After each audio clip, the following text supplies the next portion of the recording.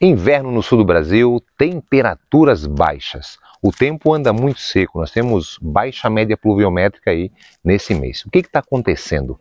Nós estamos vivendo um momento de laninha. Mas hoje, os climatologistas, através do IPCC, acabaram trazendo uma notícia que o El Ninho vai se antecipar por dois meses. É sobre isso que falaremos hoje aqui para você no canal Geografia Irada.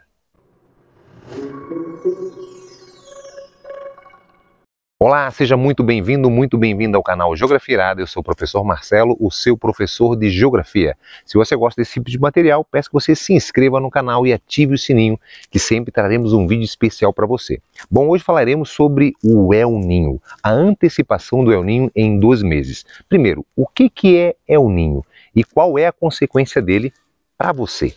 Bom, o El Ninho é o aquecimento das águas do Oceano Pacífico. Você sabe por que, que o El Ninho, essa anomalia climática, tem esse nome? El Ninho significa o menino, muito fácil de identificar, né, da língua espanhola. O nome está relacionado diretamente aos pescadores do Peru.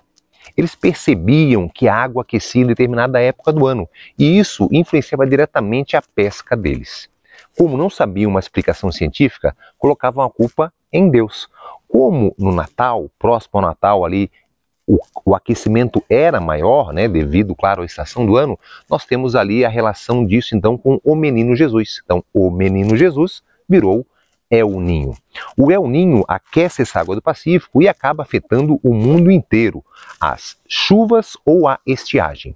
Para você aí que mora no sul do Brasil e sudeste do Brasil, o El Ninho ele traz mais chuva. Então nós temos chuvas concentradas. Então em anos de El Ninho, onde acontece a anomalia, nós temos um aumento da média pluviométrica.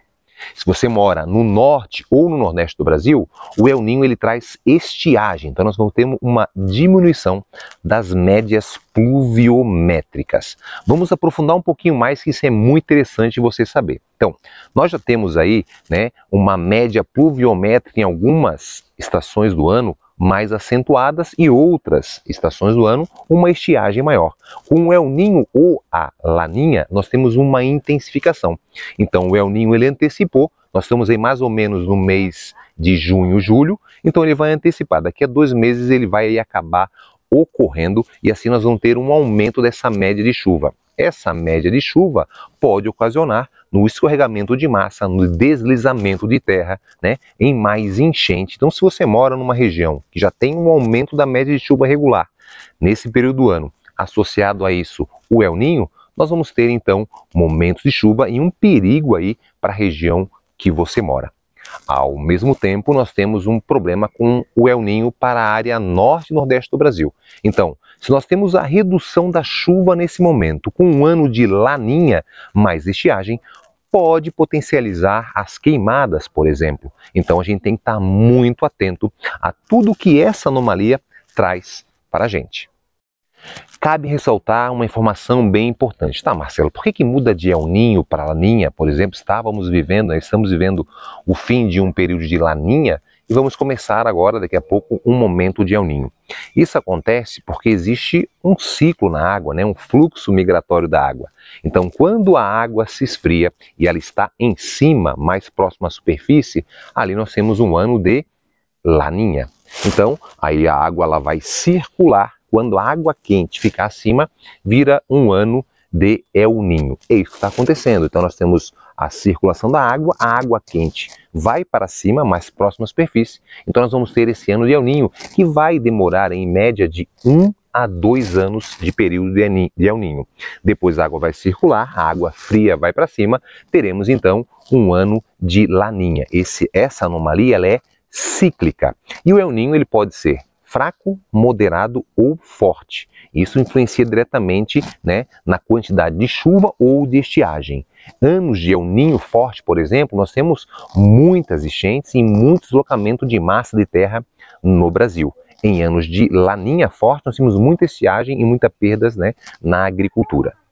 Para encerrar esse vídeo, vou falar uma curiosidade bem importante relacionada ao El Ninho. Você conhece a maior festa alemã do chopp fora da Alemanha? Muito bem, a Oktoberfest. Você sabia que essa festa está relacionada diretamente a um ano de El Ninho? Nos anos de 82 e 83, 1982 e 1983, nós tivemos um El Ninho muito forte, muita chuva, muita destruição, onde muitas pessoas também morreram na região do Alto Vale Itajaí. O governador de Santa Catarina, naquele momento, ele resolve fazer essa festa para angariar fundos, arrecadar dinheiro e também reanimar o povo para a reconstrução da cidade. Então, a Oktoberfest está muito relacionado a um ano de El Ninho. Eu espero que você tenha gostado desse vídeo, aprendido um pouco mais sobre a geografia. Se você gostou, deixa aqui abaixo seu comentário, sua dúvida, sugestão para um novo vídeo e não se esqueça de inscrever no canal, nós queremos chegar a 100 mil inscritos nesse ano. Um beijo no seu coração e até o próximo vídeo.